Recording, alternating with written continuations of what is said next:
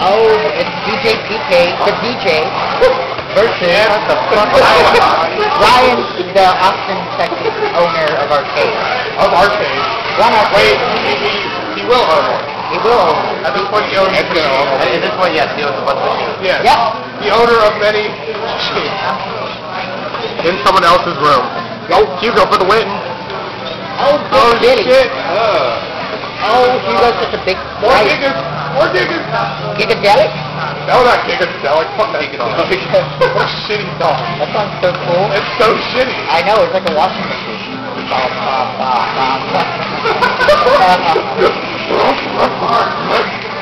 That's like shit. I know. washing. Why do you want to listen to that? Because I want to pretend like I'm drying my clothes. Or why? You go to fucking. Man, you're such a big sprite. Oh. Uh-oh. Oh. Come on, Hugo. Oh. Oh, more gigas. More Gigadelic. More Hugo.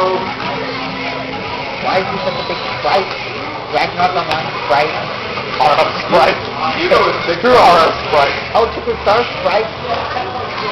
I'll copy that in my car. Copy that. Star Sprite? I have an illegal copy, copy of that. Well, I, le- I own illegal things. It Because I'm- damn much. I know. Oh! Oh! Yeah. Lamb. Gigadelic. Gigadelic. Oh! Damn, he is a raper. Oh. Man, I hope he doesn't get an offspring. Oh, fine. Oh,